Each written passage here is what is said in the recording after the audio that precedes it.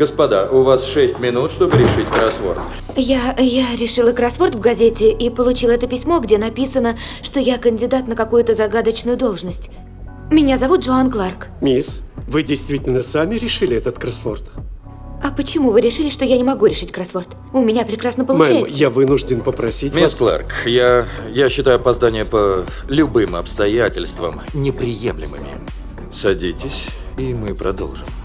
Так, э, как я уже сказал, у вас будет 6 минут на выполнение задания, которое перед вами. Начинайте. Шесть минут? А это вообще возможно? Нет, у меня заняло 8.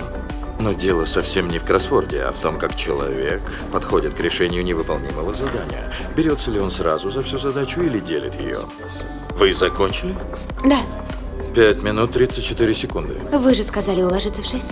Поздравляю. Добро пожаловать на службу Его Величества.